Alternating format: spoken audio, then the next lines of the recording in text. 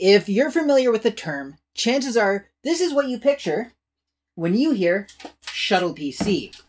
A small, nondescript computer that can go mm, just about anywhere. But working in a computer repair shop in the early 2000s, the first time my boss said that he had ordered one, I immediately pictured something decidedly more nerdy. A Star Trek shuttlecraft that just so happens to be a computer. So, this week, my fellow time travelers, we're going to be doing something we've never done before. We're setting the way forward machine all the way to the 24th century by swapping this shuttle PC for my dream shuttle PC, with a little help from my transporter.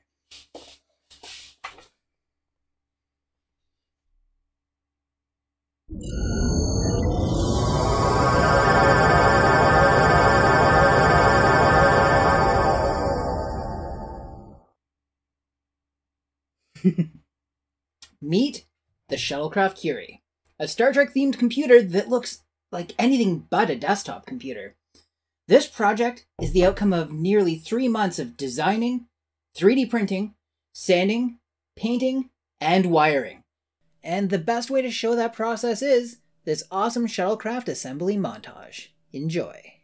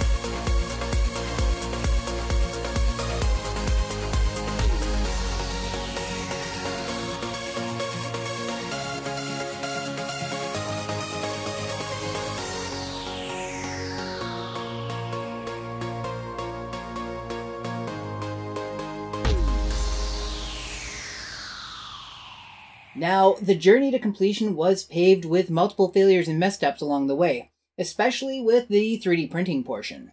All of these failures occurred for different reasons the x axis binding up on the spool holder, a random power outage, and even a failure that, well, I'm pretty lucky to have caught on camera. Basically, the filament wrapped itself around the filament holder and essentially tied it off, leaving us in a position where the only thing that could move was the printer itself. And it danced like this for over 20 minutes until it, mercifully, managed to unplug itself, with the only real damage being yet another failed print. After all that, though, we finally got there, with the original case sporting a rather Christmassy red and green color scheme. From there, it was hours of sanding and painting to get it to look just right, followed by designing and printing water slide decals that really make it look the part. Finally, I hit all the parts with an acrylic clear coat to give it a hardened, more durable finish. Tough little ship. And after installing all the electronics and assembling the finished case, it was time to add one final detail.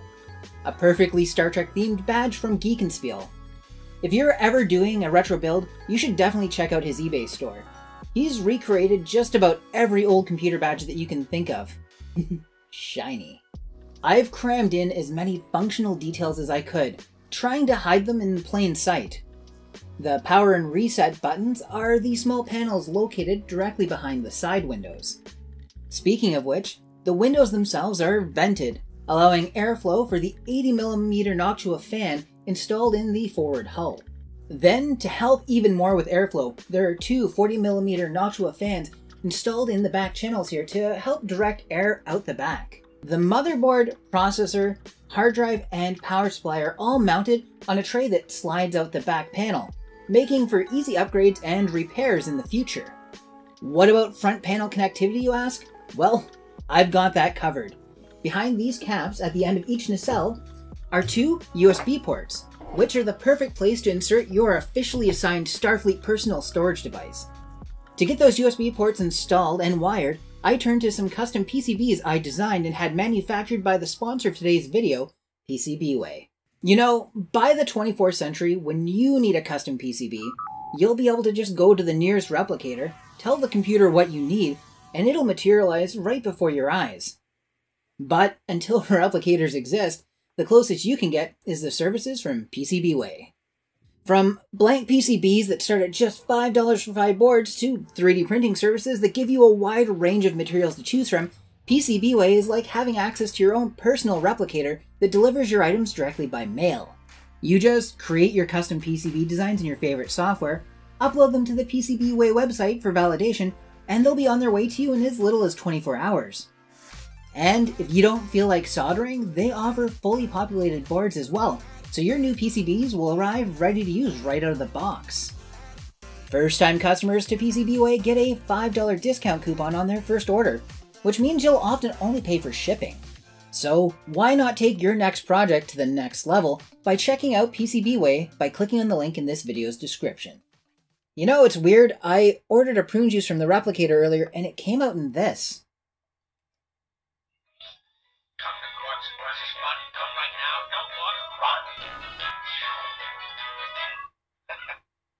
And we don't even have a Quarks here on Earth. I added addressable RGB LED strips to each of the nacelles to bring them to life and give them a proper glow.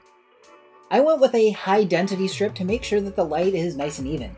For each inch of the strip, there are four lights. So now that we've got the perfect Star Trek computer, we need to pair it with some equally perfect Star Trek accessories, starting with a Galaxy class Master System desk pad that perfectly recreates the display from the Enterprise in the next generation. And as much as I'd like to fully control this machine using some sort of LCARS interface, sometimes you've just got to use the keyboard. The keyboard? How quaint. I chose a Black Shark mini mechanical keyboard, but it wasn't very Star Trek themed. So I ordered a bunch of keycaps in the colors that make up the LCARS display, and customized it to fit the project.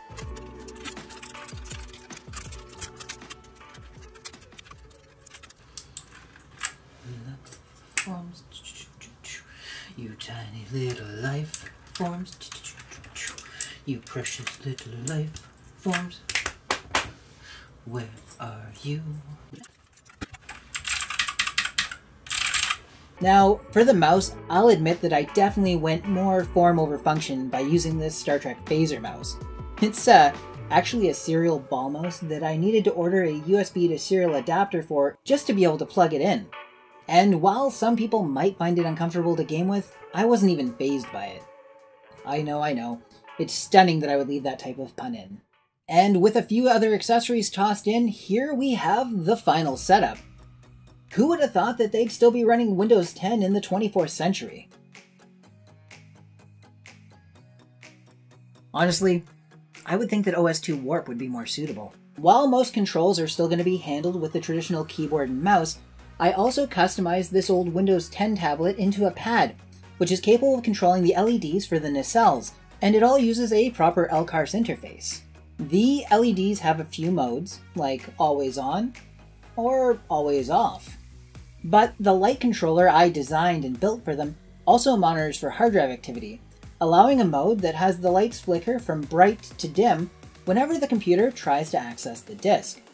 And you can also control the brightness of the LEDs from the display on the pad. The pad isn't just for light control either. It also acts as a multimedia controller, allowing you to navigate your way through your favorite Star Trek episodes and movies. Hardware-wise, the Shuttle PC is a pretty capable gaming machine, if this was 2014. It's got an i5 4460 clocked at 3.2 GHz, coupled with an NVIDIA GTX 650. It's also got 16 gigs of DDR3 and a 512 gig SSD.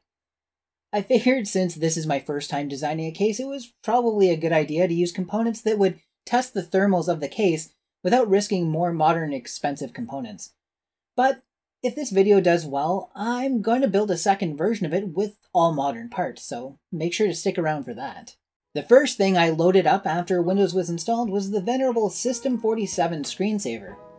I know that most people don't use screensavers anymore, but I've included this on my computers for as long as I can remember. It perfectly recreates various displays from the Enterprise E, and I couldn't build this machine without including it.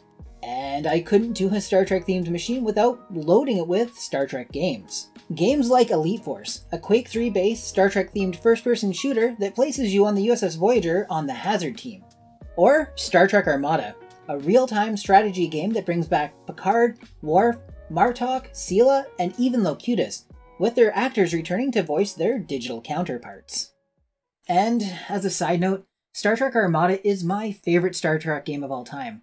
It's pretty simple as far as an RTS goes, but I have spent way too many hours playing it over the years.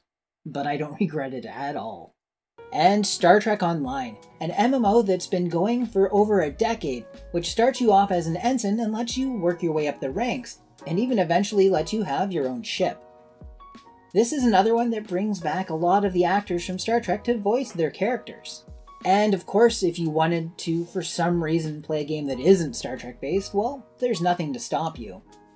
Counter Strike Global Offensive held mostly consistently above 60 frames per second while running at 1080p with medium settings. Nothing to write home about, but certainly playable enough to be enjoyable. Now, when it comes to software, there's actually tons of Star Trek programs and applications out there. Applications like Star Trek Encyclopedia, which was recently donated by good friend of the channel, Bob Carnes. Thanks, Bob. Unfortunately, it didn't want to run directly under Windows 10. But after building ourselves a Windows 98 virtual machine using VirtualBox, we were finally ready to delve into the Encyclopedia Star Trekia. This program is the perfect snapshot of how interactive information software looked and worked in the 90s. The video clips are all low resolution, and the screen only looks right at a resolution of 800 by 600. Beautiful. And since we've got that VM working, why not take a look at Star Trek Borg? It's a choose your own adventure game that's hosted by John de Lancie as Q. It's kind of like a lost episode featuring a crew that you've never heard of. And there's so much more that we could do with this because, well, it's just a fully functional PC built into a case that makes it look like anything but. Honestly, I've been designing and 3D printing for years, and I feel like this is the coolest thing that I've ever built. I think that if this had been what showed up to the shop that day, I would have lost my mind. But what else would you guys add to it? What additional details or features do you think should fit into the hypothetical version 2 of this case down the line? Let me know in the comments below. Hey, thanks for watching, and uh, I'll see you all again real soon.